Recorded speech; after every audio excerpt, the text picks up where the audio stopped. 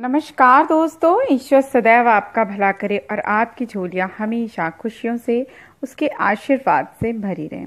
दोस्तों, आज सपने की सीरीज़ में हमारा विषय है, सपने में खिचड़ी देखने का क्या मतलब होता है। खिचड़ी जैसा कि आपको पता है जो कि हम भारतीय समाज में रहते हैं यहाँ अनेकों प्रकार की दालों से और चावल को मिलाकर और यहाँ तक कि जौ की बाजरे की बहुत सारी चीज़ों की खिचड़ी बनाई जाती है, जिसमें हम बहुत सारे अनाज या खासकर चावल और दाल मिलाकर, अनेक प्रकार के दालें चावल में मिलाकर, जैसे उड़द की दाल, मूंग की दाल और अरहर की दाल, चने की दाल मिलाकर जो खाना बनाते हैं, चावल के साथ मिलाकर उसे खिचड़ी का नाम दिया जाता है। और विभिन्न स्थानों में, चूँकि भारत विभिन्नताओं का देश है तो विभिन्न स्थानों पर विभिन्न प्रकार की खिचड़ियाँ भी मिलती हैं। आप सपने में कोई भी खिचड़ी देखते हैं मतलब मेरा यही कंसर्न है इस बात को बताने का, कि सपने में आप किसी भी चीज़ को बनाते हुए देख रहे हैं, खासकर खिचड़ी। यहाँ पे स्पेशली मैं इस बात को मेंशन करना चाहूँगी खिचड़ी जैसी कोई चीज़ आप बनाते हुए देख रहे हैं।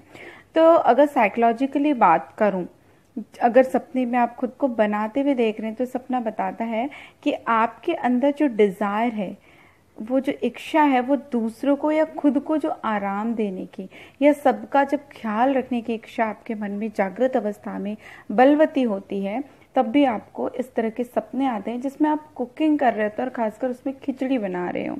और जब आप वो खिचड़ी बना के खुद के लिए बना रहे होते हैं या सिर्फ़ खुद खा रहे होते हैं तो सपना बताता है कि आप अपने खुद के हेल्थ और न्यूट्रिशंस के लिए जागृत अवस्था में सजग होना चाहते हैं। आप चाहते हैं कि आप अपने हेल्थ का ध्यान रखें, तब भी आपको इस तरह के सपने आते हैं जिसमें आप कोई हेल्दी फ़ूड खिचड़ी एट्सेट्रा बनाते हुए खुद को देखते हैं।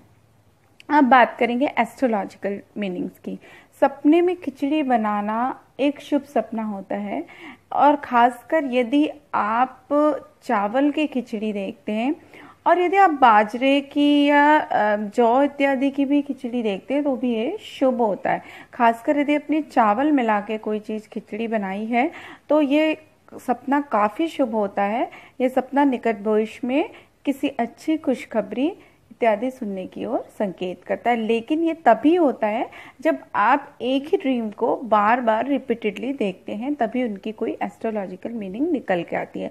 अदरवाइज़ ज़्यादातर जो मीनिंग होती है, वो साइकोलॉजिकल ही होती है। इसके अलावा यदि सपने में आप खिचड़ी पे घी डालकर खुद खा रहे हैं या किसी को दे रहे हैं या सर्व कर रहे हैं, ये एक बहुत शुभ सपना है। ये निकट भविष्य में धन प्राप्ति या सुख सम्मान की प्राप्ति की ओर संकेत करता है। तो दोस्तों, आशा करती हूँ आपको हमारी आज की दी हुई जानकारी पसंद आई होगी।